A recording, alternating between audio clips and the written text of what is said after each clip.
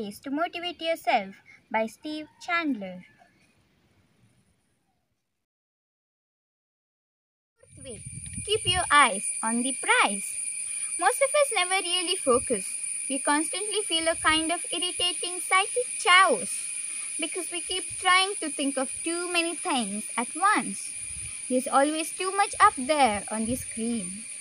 There was an interesting motivational talk on the subject given by former Dallas Cowboys coach Jimmy Johnson to his football players during halftime at the 1993 Super Bowl. I told them that if I laid a 2x4 across the room, everybody there would walk across it and not fall. Because our focus would be that we were going to walk that 2x4 but if I put the same 2x4 10 stories high between two buildings, only a few would make it. Because the focus would be on falling. Focus is everything. The team that is more focused today is the team that will win this game.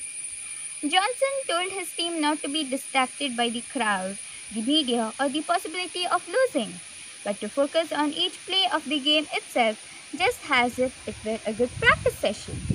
The Cowboys won the game 52 17. There's a point to that story that goes way beyond football. Most of us tend to lose our focus in life because we are perpetually worried about so many negative possibilities. Rather than focusing on the 2x4, we worry about all the ramifications of falling. Rather than focusing on our goals, we are distracted by our worries and fears. But when you focus on what you want, it will come into your life. When you focus on being a happy and motivated person, that is who you will be.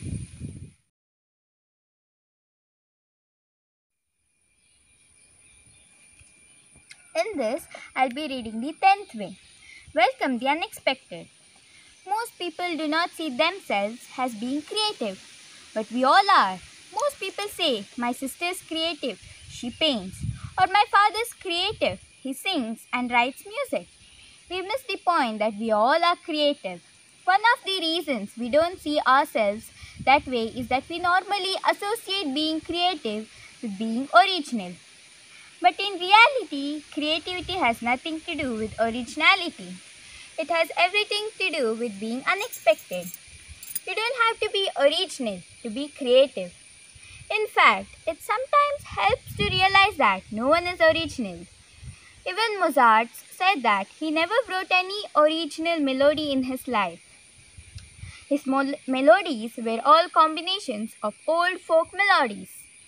If you believe you were created in the image of your creator, then you must, therefore, be creative.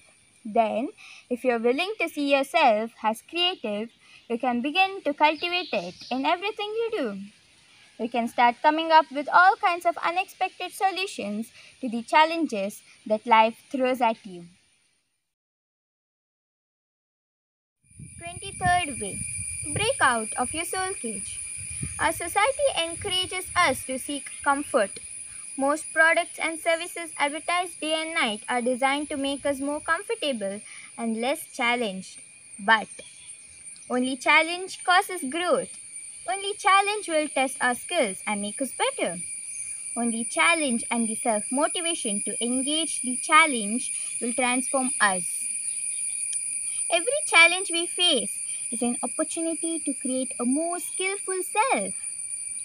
It is up to you to constantly look for challenges that motivate you.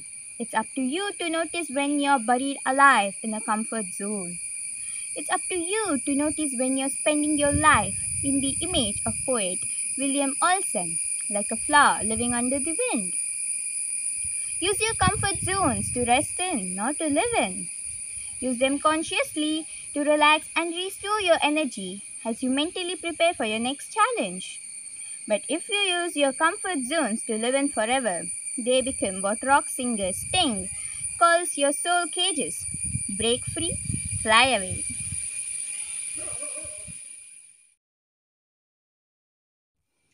71st way Travel deep inside.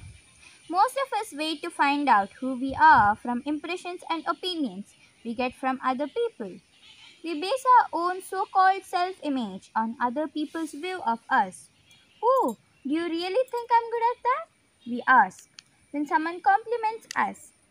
If we are persuaded that they are being honest and have a good case, we might try to alert our self image upward. It's great getting feedback from others, especially positive feedback. We all need it to live and feel good. But when it's all we have got, we are in danger of being far less than we could be. Because our self image always depends on others. And all they see is what we are whispering right now. What they never see is what's inside of us, waiting to emerge. Because they can't see that, they will always underrate us. Your journey can be internal. You can travel deeper and deeper inside to find out your own potential. Your potential is your true identity. It only waits for self motivation to come alive.